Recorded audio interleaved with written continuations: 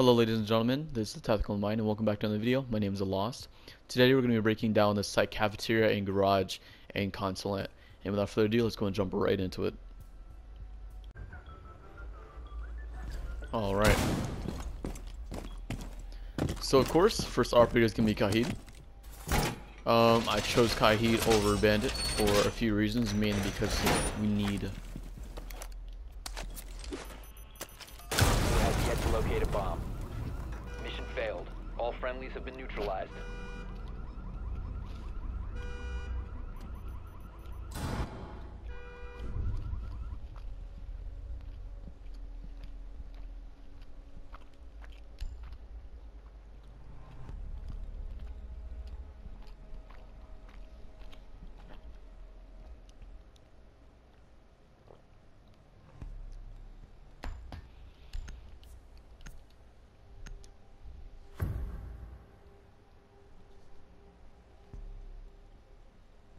Secure the area. Keep the bomb. So the first operator we're going to be going over today is Kaid.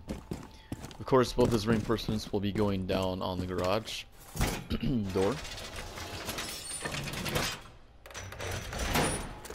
And his main role will be anchoring down and holding down the garage um, with himself and another operator. We'll get into that later on. So of course, now they made it to where Kaid's one first electric claw can uh, cover three reinforced panels such as like this. So you can only use one of these to cover all three, and you can possibly save the other one or use another one for hatch or so. Ten seconds left. Um, the other operator going to be using today is Mute, which he can assist with this wall, okay? Five seconds left. So it's not completely necessary for uh, Kaid to be used both his claws Increase on, surveillance on bombs. Op 4 has on, the, on the garage door. Um, reason why I say to put them on hatches is because sometimes if the roamer does not does his job uh, to the best he can, the attackers can easily open up get another vantage point on the defenders. Holy shit. Took my whole fucking clip to open it. Anyways, and of course this gives uh, the attackers a little bit more of an advantage through toss down utility, smokes, uh, gridlock mines, or, or gridlock tracks, whatever you uh, attackers throw down. Same with hatch here, right? So I would say uh, electrifying at least this hatch. And this will be nice. And of course there'll be a mute gym right here. As for where uh, Kai is mainly going to be playing at, and there's going to be a nice angle over here for you to occasionally look at. If anyone gets a peek or a ping um, of an attacker being down this area in the hallways. So of course they are most likely going to not see you. In fact, I've already tested this. If they are running an ACOG and they do not drone out the room first, you see how when I first enter the room and I'm aiming down my sight already, I don't see this hole right here. Because just how thick the ACOG lenses is around, the casing around, it's going to block that out obviously, right? So most people, they like to start right here and they will just scan through the room and they won't see it until right here, until the corner of the screen, right? Um, of course, by then they'll be dead if you were sitting there watching that camera or sitting and watching that angle. So that's a nice little uh, angle you can hold down. But of course, as Kaid, you're going to be playing around White Van. You're going to be playing around uh, the yellow pillar right here um, to prevent them from getting to the objective. Uh, it's not too much in depth, not too much to talk about Kaid. Secure the area. Keep the bombs protected. So Maestro is going to assist uh, in the garage, okay? He's going to reinforce his last panel wherever it's going to be on uh, garage door. And his first camera will be placed near these wooden planks on the side of the white van in the garage. And of course, this is to block off if they open up this uh, garage door somehow and they come on and start planning, they smoking out. This Maestro Cam is in a perfect position to see through the smoke and to zap whoever is uh, planting the, the bomb. Ten seconds. Of course, he can also has a really nice line of sight all up to the yellow stairs and he can give Five great callouts to yo uh, to the roamers that hey blah blah blah blah is pushing up into location piano room. secure. You know that'll be the uh, roamer's job to take care of that.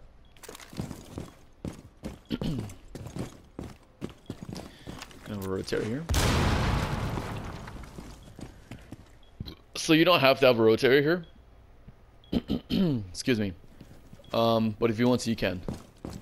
Uh, you might there'll be some reasons because of course I don't like this rotate because if you're an attacker you can get line to sight all the way from servers to back here and I absolutely hate that rotate um, even up on stairs so that's why I consider or try to reconsider placing this somewhere else Gonna get on top of this uh, kitchen part or right on top of the stove and places Maestro Cam. Of course, you can have coverage all over the A site. So you can see in that corner, see if someone is playing down this hallway. Um, pretty self-explanatory. So where Maestro is to be playing at, it's to be right behind this fridge, or what else you to call this door thing, right? So he's to be playing right behind here, really close to Kaid. So if they ever need each other, also his other second reinforcement will be right here.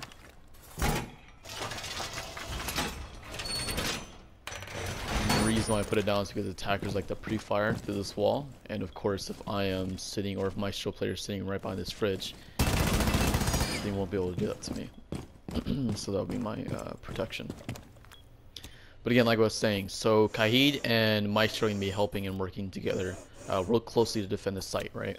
While the other three operators, well, actually I have one, of course, playing right next to Maestro as well, uh, and the other two will be roaming around. So how I'm going to be playing this, we're going to have a pulse on the opposite side of this map over here playing in uh, the surveyor, right? He's going to be pretty much sitting in this closet and have a rotate waiting. And he will detect him coming down from bottom of spiral to coming down the second stairs down here. And he will be able to give us callouts. He will be able to give uh, mute. We're going to have mute play in this room, room along with me and Jaeger, the other roamer, right?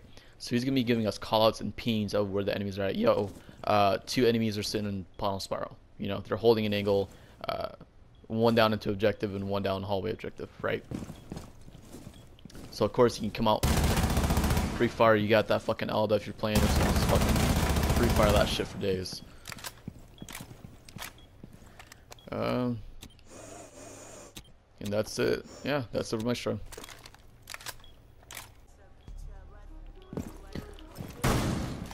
Alright. Next up we got mute first me is going to be going right here on this drone hole to prevent any possible Twitch drones because of course in a ranked game if you're defending first you're going to ban Thatcher and nobody really bans Twitch anymore so or I guess you were never able to at the time I guess um, so of course that stops our drone from entering from this drone hole um, continue the other three jammers 10 seconds to insertion put one in this corner of the silver fridge and cafeteria. Five seconds. One in the hallway Op leading to, to site.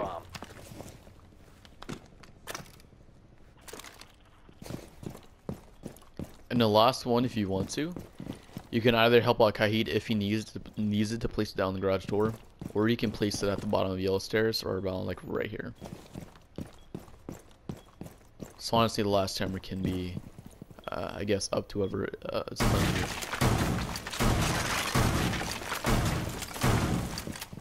So for this setup, it's going to be vital for the player to be playing Mute Shotgun. What the fuck am I getting stuck on?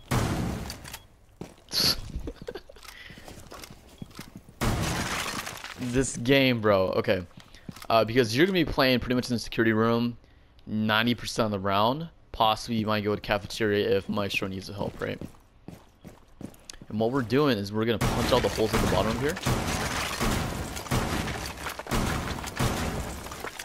We're going to barricade this up.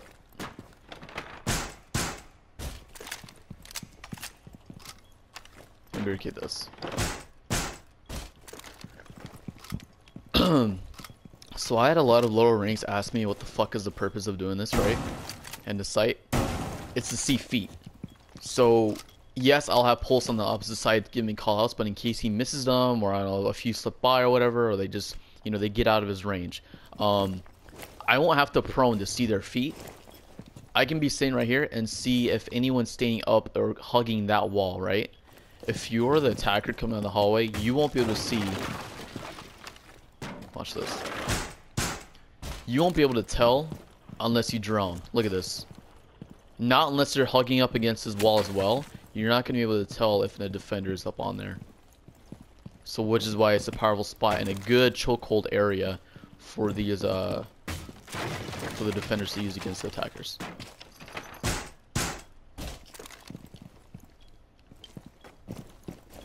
Oh yeah, Millennium is gonna be reinforcing this room by the way. To prevent getting shot from yellow.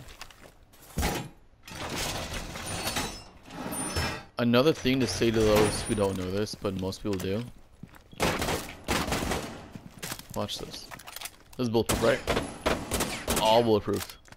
This chair is not gonna fucking save you. It will not save you at all. Watch this shit. Yeah, look at that. So just because it's not getting destroyed or whatever, see that right there? It is not gonna protect your head. So this desk, it is bulletproof. It's all metal, even this little box right here, it's all metal. It will protect you from against body shots. So maybe you can prone.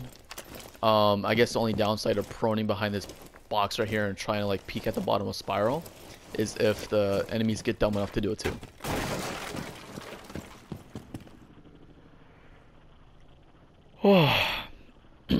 Oh, excuse me with the fucking sneeze. So yeah, for some god fucking reason, if an attacker decides to do this and just slide on in, if you're playing mute even with SMG-11, you should be able to fucking zap him up pretty fucking quickly. Before he even gets to see you, because you'll see his fucking feet and shit all crawling and sticking out.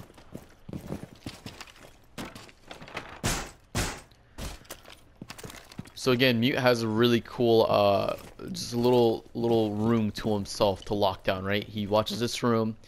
It's a buffer room between the hallway and cafeteria, so he can switch to whatever direction he needs to help out the most. Um, if show again, if he's in trouble, you got a shock and then you got a C4, you use it. Uh, again, if, if there's a shield up or someone coming up here, maybe you can shotgun the top part out. You know, just toss the C4 through that. God, my tosses are so shitty. Toss the C4 through that. I'm plat, I promise. okay, we're just... I can't believe we're gonna put this in the video. We're just gonna let that fucking slide. this will spice up my videos a little bit more. Make me, make me uh, look more alive than, uh, than what I am, I guess. I don't know. Um... yeah, that's mute. Secure the area. Keep the bombs protected. Alright. So the first ADS is going to be going right over the drone hole. This is to, of course, block out any grenades. Uh, inoperative grenades might toss in to get rid of uh, an electric claw or the mute chamber or whatever. ADS, of course, prevents that from happening. Second ADS will be in cafeteria. It's going to be right where that mute jammer was, right above it. And the last one is going to be placed right behind this desk. Left. And of course, it's going to help protect Mute from any nades or any uh, projectiles might be sent towards me Mute's way. And barbed wire will be put down in the bottom yellow. Along with, don't know why I didn't do it over here. But the cafeteria door as well. so I feel like being a roamer is probably the most important job for the defenders is because you slow down and you pretty much try to waste as much time as possible for the attackers. So Jaeger's most important slash main job will be protecting piano room. Okay, uh, typically when you are attacking the constant garage, a buck will be sent up to piano with possibly another fragger or backed by support players to clear out any roamers. So wasting time or possibly getting someone up uh, to open the hatch like a mute or a maestro um, or any one of the shotgun really again Kaid, any of those operators can uh, can do. Um, opening that hatch for a good rotate or just to scare them, just sit up there and wait for the team to come by. However you like to handle the situation, you're the best, right? Of course, when you're done placing your ADSs, you're going to go to the bathroom and into lobby and reinforce both hatches.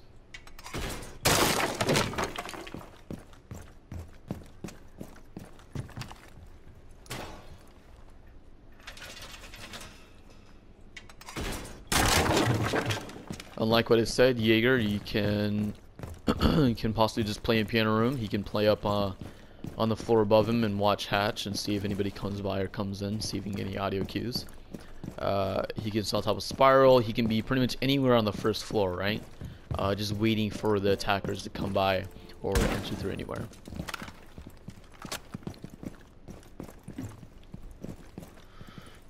Um, that's pretty much it for for Jaeger. Bro, the music. Alright, so um, Pulse has a pretty simple job, just like a Jaeger does, except he doesn't have anything extra um, to throw down. So his two, I just left the lobby. His two hatches will be the one in V's office, and the other one in lobby. It's gonna be lobby closet. So literally all Pulse has to do. And then he goes down in the server room and he just pretty much sits in there and waits. Down to five seconds. And these hatches are to protect himself. Bomb location secure. Yes, although he does have one hatch open right here, uh, pretty much. You can, of course, if you're playing the Pulse, um, you can rearrange however you want to reinforce these three hatches. Maybe you want to keep that one open and keep these two closed, however you want to play. Now, I just now thought of this, but it's probably smarter to reinforce that one because you're probably most likely playing in here the most. Could be playing in here. You could have a rotate. You could be playing in here. Or again, rotate right here, and you could be playing in these hallways, right? So you can be playing in any one of these rooms. If you want to barricade this off, feel free to. Although that's probably going to attract, that is definitely going to attract some attention. Especially when they see what side uh, the barricade was barricaded on, of course. Um, so pros about being in this room is I can see anyone coming down from bottom of spiral and give callouts to my teammates. That is what Pulse is going to be doing. And or if they are unavailable or busy or attacking someone themselves, Pulse can just, you know, continue to stalk them and then when the time is right, you can strike. Shoot, take out whoever needs to take out, right? Come around to the side. So same situation over here. He can sit underneath these stairs and detect anyone that is above these stairs and we're coming down, alright? Or once more he could be like hugging against his wall seeing people coming from around this corner and when people are, put that away. Pop up, take out anyone who's uh, in your line of sight. Um, so I hope this is a short and sweet video. Uh, there's not really much to go over. Um, I pretty much all explained what I thought there needed to be explained for each and every operator in their role. I hope I simplified as easy as possible. Um, and I hope you guys like uh, the setup that I did. Alright, and that's all for today's video. I hope I kept it short, sweet, and simple for you guys out there. Um, the whole bottom floor is pretty much covered for the most part uh, by the defenders. Uh, it is a very powerful site, along with the roamers just defending the second floor piano room. Um, so the attackers will not get into the uh, open up the floor obviously and make the defenders' lives harder. It's pretty much the only um, room I guess you need to that, that needs critical attention. Apart from that though, it's a pretty strong and solid site. Um, and I hope everyone enjoyed this setup. Again, if you appreciated it, if you if you liked what you saw, please like, subscribe. Uh, it will show my it will show your appreciation, um, and it means a lot to me. I know I keep saying every video, and if you see all those, it, it, it generally means a lot to me. Um, I believe I've come so far from what I started doing, and I did not think I was going to get to this point. Um, and of course, I want to keep reaching more and more milestones and make better content for you guys uh, and, and do more things. Um, so once again, thank you guys for everything. Uh, my name is Lost, and have a good day.